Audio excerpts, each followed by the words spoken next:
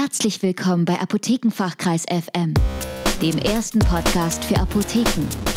Inspirationen, Anregungen und Impulse für eine bessere Kundenkommunikation im digitalen Zeitalter. Von und mit Michael Pieper und Norman Glaser. Anders als die anderen, wie du mal ganz anders Marketing betreiben kannst. Newsletter kann jeder. Standortaktionen erfordern da schon mehr Planung und Aufwand, aber auch diese sieht man inzwischen an verschiedensten Stellen. Auch Social Media Marketing sollte dir inzwischen kein Fremdwort mehr sein. Wenn aber doch, solltest du dringend damit anfangen, Instagram und Facebook für deine Zwecke und kleinere Anzeigen zu nutzen. Was aber gibt es noch, das du tun könntest, um deine Apotheke mal in einem ganz besonderen Licht zu präsentieren und dich von der grauen Menge abzuheben? Etwas, was nicht jeder Zweite macht und worauf man vielleicht gar nicht unbedingt kommen würde im Zusammenhang mit Apotheken? Hier kommen Inspirationen, Ideen und Tipps, wie du Marketing mal ganz neu betrachten kannst. Dazu sei jedoch gesagt, die Welt der Werbung ist unergründlich und unerschöpflich.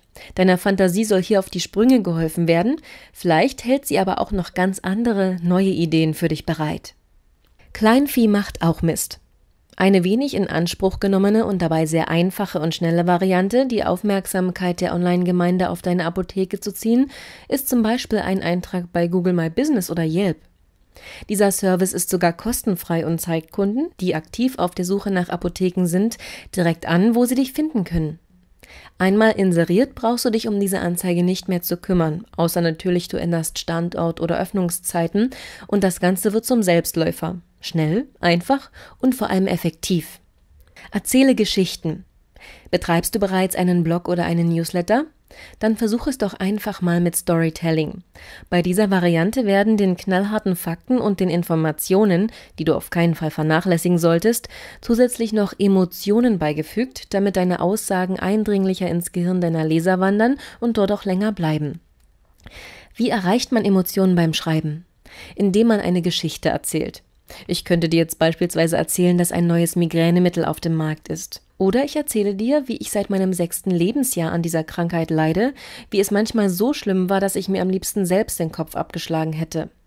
Wie ich bei meiner ersten Theateraufführung natürlich wieder einen Anfall bekam und die zwei Stunden auf der Bühne Höllenqualen durchlitt, wie oft ich zu den ungünstigsten Momenten im Bett lag, vollkommen unfähig, mir auch nur einen Eispack selbst zu holen, in einem vollkommen abgedunkelten Raum und geradezu allergisch gegen jede Art von Licht.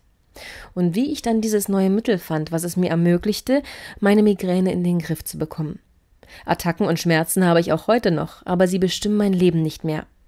Na, welche Meldung wird wohl eher im Gedächtnis bleiben und Neugierde auf das Produkt verursachen?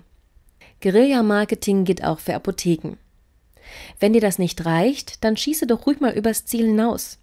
Marketing bietet unzählige Möglichkeiten und da es im weitesten Sinne um Aufmerksamkeit geht, gilt dabei, je frecher, desto besser. Als um 2007 viele der Zigarettenautomaten abmontiert wurden, nutzte die Marke Nicotel die freigewordene Werbefläche, um Wegbeschreibungen zu den nächstgelegenen Apotheken anzubringen, versehen mit einem Kommentar, dass dies doch eine tolle Gelegenheit sei, mit dem Rauchen aufzuhören. Diese Aktion zeigt sehr deutlich, was Guerilla-Marketing ist.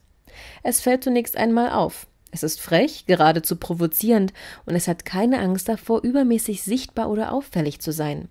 Und warum auch? Ein gutes Produkt oder eine gute Apotheke kann ruhig einmal vorgezeigt werden. Video und Ton bringen dich groß raus.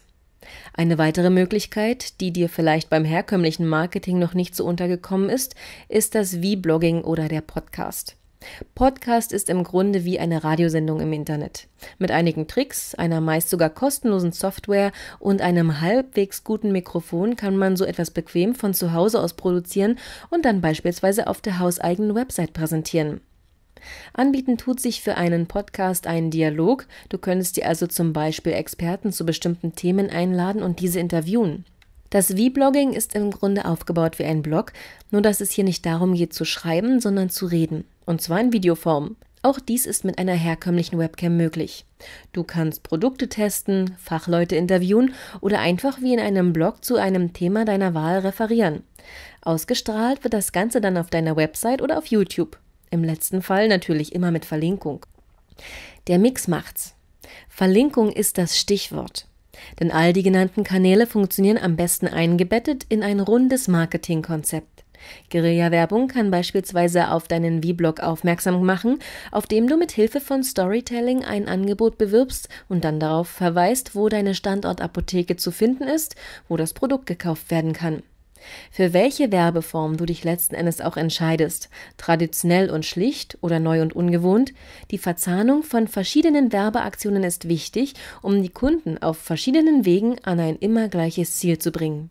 Deine Apotheke.